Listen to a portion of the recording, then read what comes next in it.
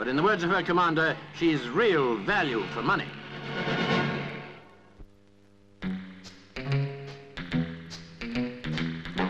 Billiards historians tell of the game being played by a king of Ireland in the second century.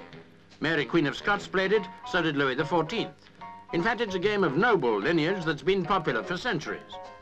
While he was filming the German championships, played on tables without pockets, our cameraman recorded this demonstration by August Tiedtke, well fancied for the title.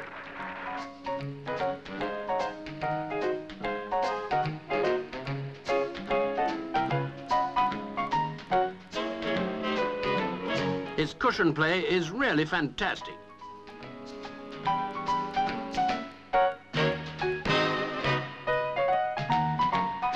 Watch how this ace gets the desired effect from a spin.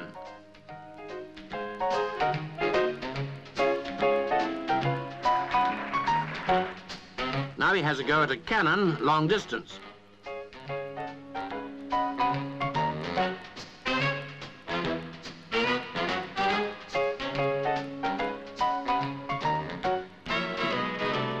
And again.